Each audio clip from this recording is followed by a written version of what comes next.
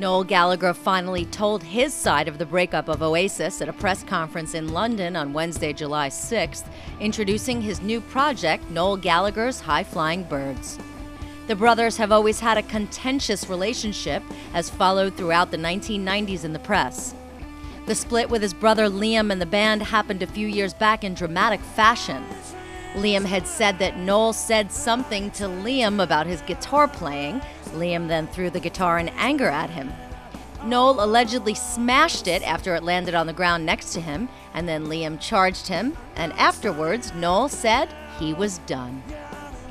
Gallagher said the seeds of the split started with Liam's clothing line. It kind of all started to unravel, if I'm being honest, when he started his clothing label. And he um, demanded that in the Oasis tour program that he be allowed to advertise it, which I was I was against because I didn't fi- I, I, I didn't think that it was right for him to be flogging his gear to our fans, and there was a massive row about that, and it, kind of went back and forward for a bit. As I remember it, and in the end, I said, "All right, well, if you, if you if you want to advertise in the program, how much?" And he couldn't get his head around that. And I was like, well, if, you know, um, Electrolux kettles, you know, want to advertise kettles in the tour program, they pay us money, right? So how much are you going to pay me? And he hit the roof. And it, it slowly went downhill from there.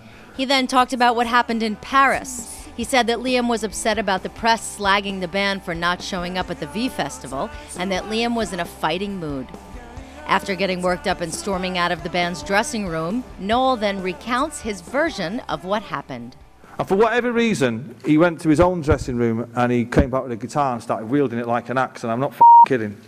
And, and, I, and I make light of it because it's kind of, you know, it's kind of what I do. But it was, it was just a, it's a real unnecessary violent act. And he's swinging this guitar around and he kind of, you know, he nearly took my face off with it, you know. And it ended up on the floor, you know, and, and it, I put it out of its misery, you know. And then I said, you know, well, look, I mean, there was people who were in the band not saying anything, kind of looking the other way. It wasn't even a big dressing room, do you know what I mean? We were all involved in it and nobody was saying anything. So I was like, you know what? I'm fing out of here, you know. And at that point, the tour manager came in and just went, five minutes.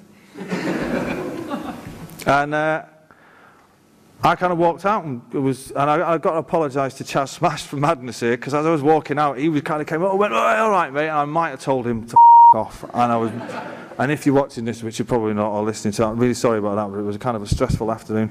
And um, I kind of got in the car and I sat there for five minutes and I just said, that's it, I can't do it anymore, you know. Gallagher also admitted that he regretted his actions. I regret it really because we only had two gigs left. If I had my time again, I'd have gone back and done the gigs. That gig would have been dreadful because he was out of his mind, you know. I'd have done that gig and I'd have done the next gig and we'd have all gone away and we could have probably discussed it, what we were going to do.